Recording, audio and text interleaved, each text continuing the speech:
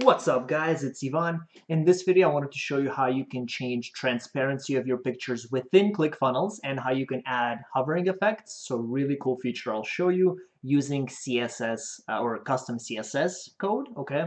So something pretty simple to do, just follow how I'll do it and you can do it as well. So let me first show you what it is and what it looks like. So I'm just gonna go into view this page. Um, so here you have these three pages. As you can see, they already have reduced transparency, but if I go over them, they're kind of selected, right? Which, which, which is awesome, I think, because this isn't something that ClickFunnels has unless you know some CSS. And also you can use whatever I'll be doing here in any page that allows CSS coding, uh, such as WordPress, for example. If you have a blog, you can customize your own pictures and whatnot with this feature as well, all right? So let me show you, so that's that. Um, and then here also over text, as you can see, if I go over this, uh, it also reduces transparency. Okay, so let me just show you two things. First I'm going to do is I will show you how you can um, reduce and change the opacity or the transparency, and then how you can create this hovering effect. So what I'm going to do, um, let me just delete all this. And that is something else I wanted to show you, a little problem that was there. So that's fine, I'll just delete that. So I'm going to add, add row. Let me add a three column row just to show you what it's what the pattern is going to be. We're going to click create new image, create new image, create new image. Uh, let's put up let's put in whatever image you want. And by the way, you don't have to do this only to images. This can apply to anything, to text, to entire sections, whatever it is you want. Uh, so let me see. Uh, yeah, so let's just insert something. So let me search. I'll do the same thing I did last time. So maybe I'll do happy. Uh, and let's put in, uh, let's just put in some random images. So maybe one of these.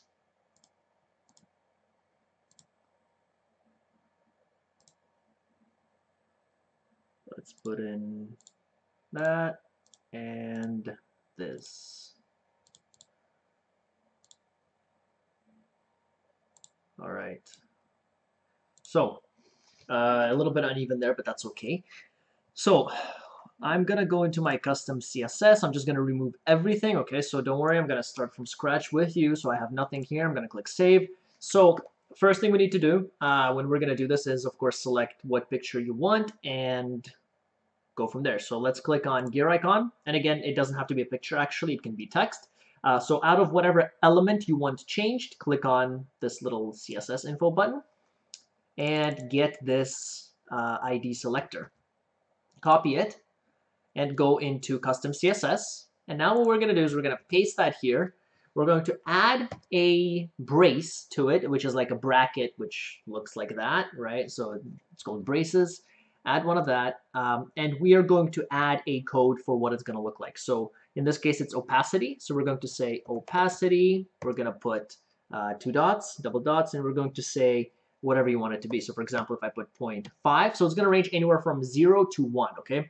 So you can put, say, 0.11, 0.12, 0.13, 0.14, and as you can see, it, it, it gets more and more um, darker the more you, like, the higher the number, closer to 1, right? So at 1, it's as it is.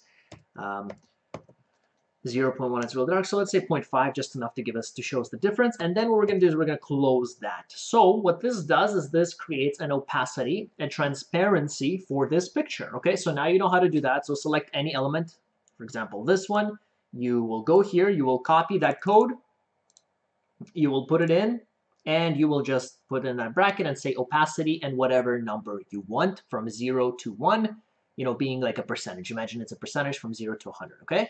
So that's that. Now we need to create a hovering effect, okay? So when you click or when you actually hover over that picture or that item with, a, with the mouse, it's going to light up. Or, uh, not light up, sorry, but it's going to go back to its original transparency level. Uh, or you can do the opposite. You can have it um, have low opacity, and then when you hover over it, it's going to be higher opacity, okay? So um, okay, so let, let me just show you how what the pattern is. So I'm just going to copy that code and I'm going to paste it back here again. And now what I'm going to do right over here, I'm going to put, again, two double dots, and I'm going to give a command, which is going to be hover, okay? So after the double dots, it, it it's basically, it's a room for us to say what we want to have in that picture. In this case, it's hover. So after we hover, what do we want the opacity to be?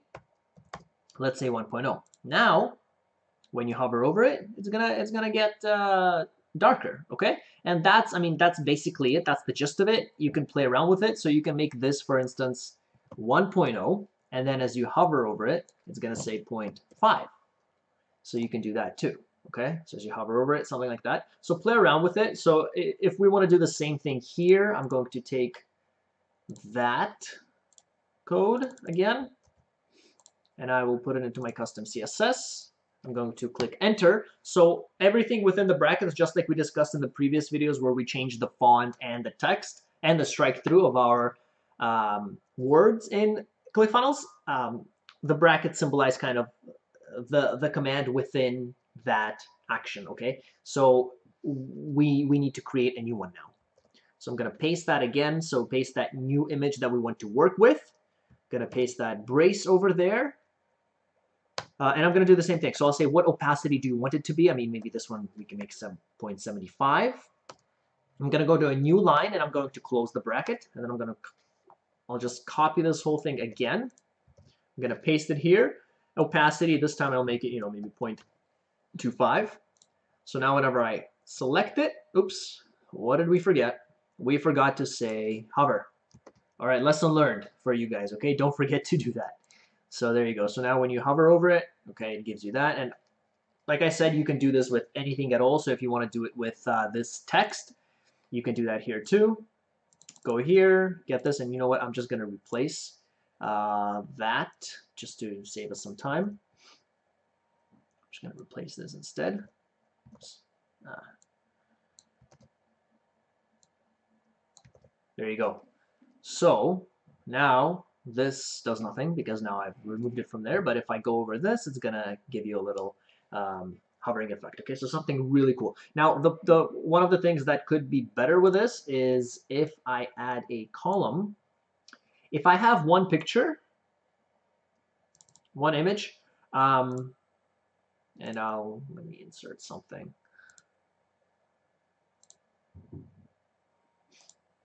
So let me put this one in. So as you can see here, there's tons of space, okay? So if I create a transparency effect for this one, the problem with this is going to be that when, when someone doesn't even click on the picture, but they click close to it, it will, it will light up or it will do that alternative action. So let me just show you what it looks like and what I'm going to do about it. And I will actually do something about it in the next video. So let me just show you so here you see, so if someone even doesn't even click on the picture, but they click on the outskirts, on the outside of it, it's going to still reduce the transparency. We don't want that. We want them to only click on the actual video. So I'm going to show you how you can reduce these extra margins in pictures or text if you want. So if you have this text and you want to remove these excess margins, you can do that as well, okay?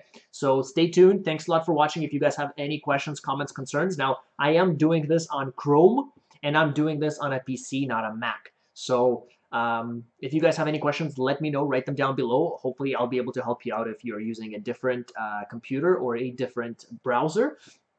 Uh, please subscribe to stay tuned for the next videos. If you're already subscribed, I really appreciate it. And I'll see you guys in the next video.